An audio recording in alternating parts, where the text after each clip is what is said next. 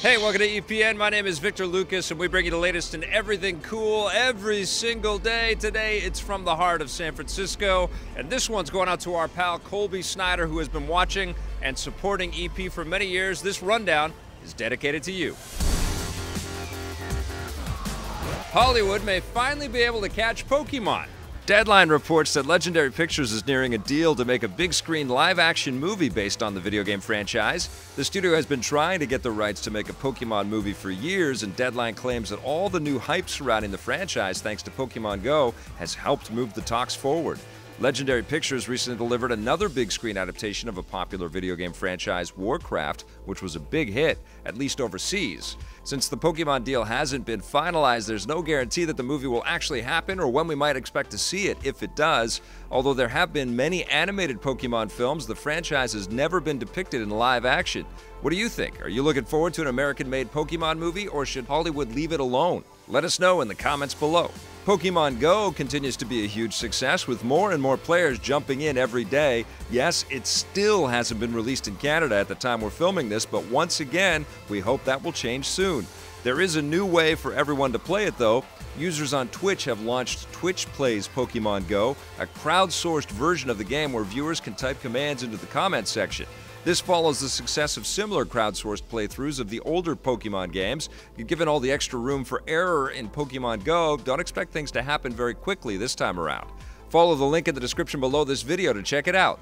Overwatch is expanding its roster of playable characters. Blizzard Entertainment has unveiled Ana, the first new character coming to their popular online shooter. She's a support character and isn't nearly as deadly as she might look. All of her weapons, including her sniper rifle and grenades, actually heal her teammates, allowing you to keep your friends alive from afar. Some people think playing as a medic is way too boring, but since she uses her weapons to heal people, that should make things more exciting.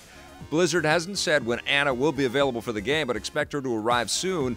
Overwatch launched in May with 21 playable characters, and it was always Blizzard's intention to expand the game with more characters after launch. We'll let you know when more are announced. The X Men franchise is continuing its mutation on the small screen. Fox and Marvel are teaming up to create a new live action X Men TV series on top of the already announced Legion coming to FX next year. The new show doesn't have a title yet, but is expected to focus on two normal human parents who discover that their children are mutants, forcing them to go on the run from a hostile government. Sounds like someone might have watched the recent movie Midnight Special.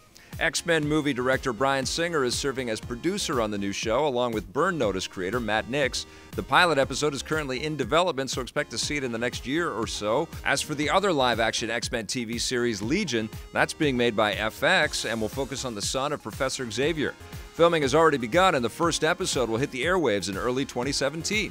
And before we go, take a look at the latest trailer for NHL 17. Because hockey, narrated by our old pal Sean Ramjagsingh, the trailer shows off the game's redesigned goaltending system, which promises to make things around the net feel a lot more realistic and authentic. If only Canadian goalies were this good in real life. NHL 17 will drop the puck on September 13th. And that wraps us up for the rundown today. Thanks for watching, everybody. We'll be back again tomorrow with a brand new one.